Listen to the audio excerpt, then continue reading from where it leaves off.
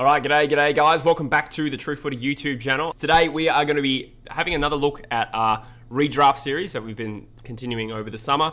Um, last time you were here, Lenny, we did the 2001 draft in podcast form, and then Drewzy and I have done a couple on the side as well. Uh, but Also redrafts. yeah, and Both look fantastic. Ah, right? thanks, mate. You're a flirt. uh, but today, Drewzy's been given the flick, and we've had the upgrade to Lenny, the uh, the True Footy resident draft guru. So it is great to have you back, Lenny. Oh, thanks for having me again. It's an absolute privilege to be on here. Oh, thanks, and mate. ever since I've been on here, I've been getting a bit of a celebrity status in Fremantle. People have been coming up to me Really? going, "You're the guy off True Footy." You're No- kidding me. No, I'm not. I had the same fan that came up to me at the stadium a while ago come up to me again the other day at Oh, really? running my hot dogs. Oh, that's Yeah, Had a bit of a yarn. Yeah, that's cool. He was surprised I remembered him, but I remembered him. Yeah, that's cool. I do remember uh, my friend Brendan once. Um, he who had at that time had only been on the potty once. Was standing next to me at work, like maybe like the distance you and I are, not talking to each other. And someone went up to him and said, "Hey, you from True Footy?" I said you're right there. yeah, I was literally right there. Uh, that's cool. No, we, we do appreciate all that stuff. That's pretty cool. Um, but before we get into it today, guys, we do have to acknowledge our sponsor, Manscaped. Bush, uh, tell us all about your manscaping experiences. I got to admit, it's been getting a bit of dust in the bloody nice travel bag that it comes with for a while, but I hope you mean the product. yeah. but yeah, it's, I might I might need to pull it back out of the bag again soon. Yeah, what are we talking about? Manscaped. Okay, Lawnmower 3.0. Okay, 20% off. Yeah. All that jazz. On a serious note, um, we are very grateful to our sponsors, Manscaped, who have supported us through the off season, uh, helping this channel stay afloat. Extended us to April or something. Yeah, yeah, exactly right. So, for a limited time, you'd have to say, uh, go to manscaped.com. You get 20% off their elite ball shaving products uh, using the code TrueFooty20, all caps, all one word.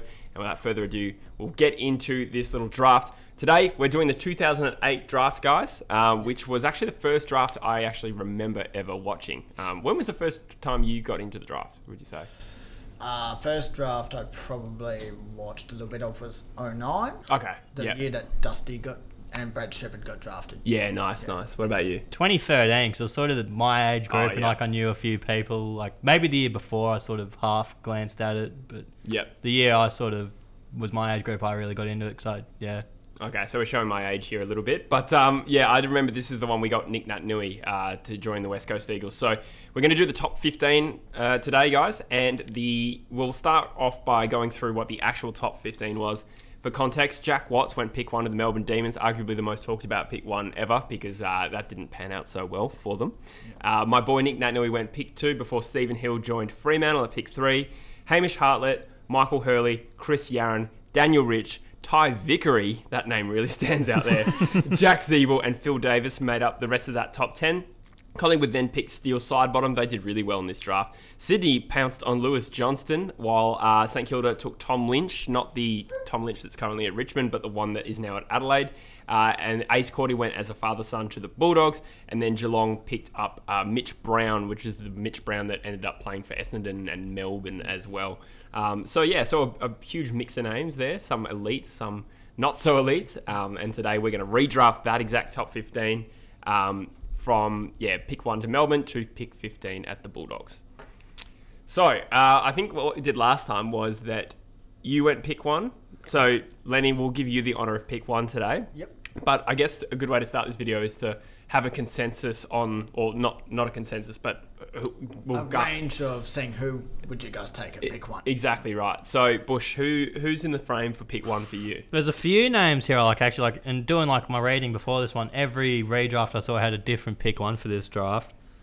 But I'm probably sort of have to go for a combination of longevity and like what they've done during that longevity. Probably Rory Sloane. Rory Sloane, interesting. Okay, yeah, this is a tough one to to gather because oh wait, they're just about the end of their careers, but then there's some players who did well at the start of their career in the middle, and then some Yeah. players are peaking a bit later on now, um, which we'll cover as well. I personally went with Steele Sidebottom, probably a little bit of recency bias, but he has been good throughout his whole career. Yep. Um, he had one All Australian, one flag, and he came second in the Brownlow back in 2018. Um, so, uh, Lenny, why don't you uh, tell us who you went with with pick one? And this is going to be the start of the actual redraft. Well, I went completely different to you two. and Did I you? Went, I went with Dan Hannebery. Nice. Um, he's played 221 games. He's got three top six Brownlow placings.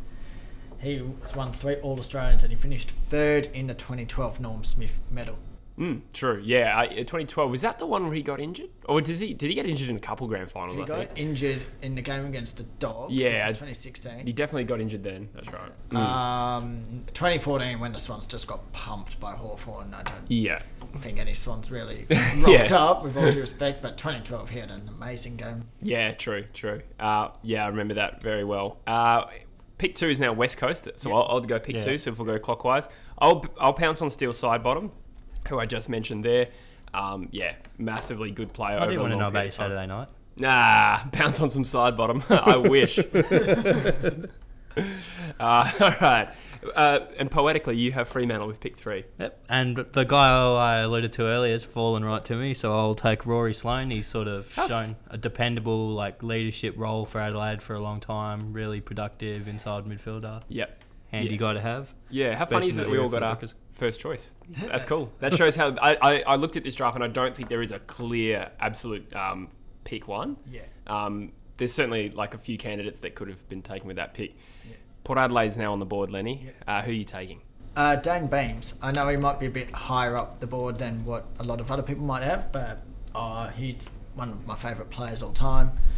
He was actually when he was at Brisbane, and a lot of my friends can say I did say this. I thought he was a bloke that should have had a Charlie around his neck, or a Brownlow for those who don't know. Yes, I actually he was the next name on my list, um, which makes me look down mine at Luke Breust, um, who is a small forward, and um, I guess for the redraft, you don't always expect like a small forward to go really high because generally, like in drafts, right? You obviously, you want a big boy, or you want a big Yeah. that can change a game. Exactly, but the I think the impact Breust's had at Hawthorn, he's just been such a prodigiously good goal scorer. Uh, I think he's won their goal kicking award twice, and that's in a team that's had some really good goal kickers in that Oh, team.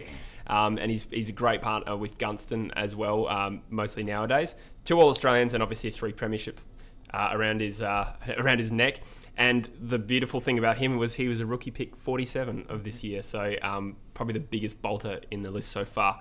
Carlton is next. Who I'm going to go another guy who I was seriously considering for my first pick, even my number one pick if I was picking number one, and that's Nick Nat. Ooh. Even though he's had some injury issues throughout his time, when he's on the park, he's just a prodigious, productive ruckman. It's hard to see you going wrong with him. Yeah. Other than a couple of health issues, but career best season in 2020. Yep. He sort of became the player that we all thought and hoped Yeah. he would. Um, Brisbane is now on the clock with pick seven. They took Daniel Rich, the rising star. Who are you taking today? Uh, I'm very biased with this pick, but I'm going to go with Michael Walters. That is I biased. think he's Nah, I kidding. think he's one of the best small half-forward flankers in the game. Uh, beautifully skilled, um, and he can turn a game even though he's 178 centimeters. So I think you only have to look at his game against Port Adelaide in 2019. Was it Bush when he had 25 posies With the six Six goals goals. already, yeah. Yeah, Yeah, that's so that just shows you the talent he's got. And I mean, for a kid who got banished from the club when he was 19 years old to come back and do what he's doing, it's a remarkable story. Yep, I agree. I'm a big fan of Michael Walters, so I support that pick.